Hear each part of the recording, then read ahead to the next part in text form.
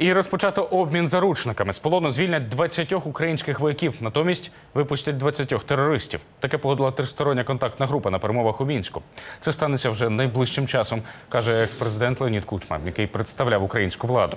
У переговорах також взяли участь російський посол в Україні Михайло Зурабов, представниця ОБСЄ Гайді Тельявіні та члени терористичних угруповань Донбасу. У мінську також домовилися про гарантії безпеки для міжнародних експертів, які досліджують місце падіння малазійського Боїнга та передання їм речей загиблих.